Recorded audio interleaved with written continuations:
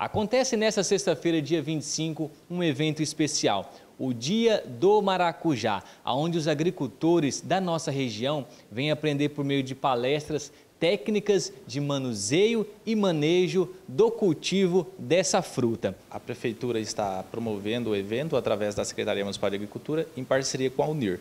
A UNIR disponibilizou para a Secretaria Municipal de Agricultura três palestrantes, na verdade que são três professores da instituição que é o professor Emanuel, o professor Evandro e a professora Dausa.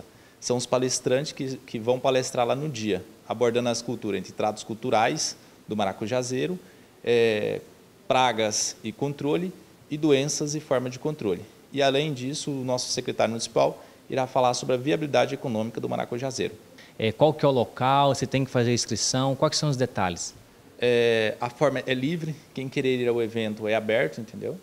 E assim, vai acontecer nesta sexta-feira, dia 25 do 10, a partir das 7h30 da manhã.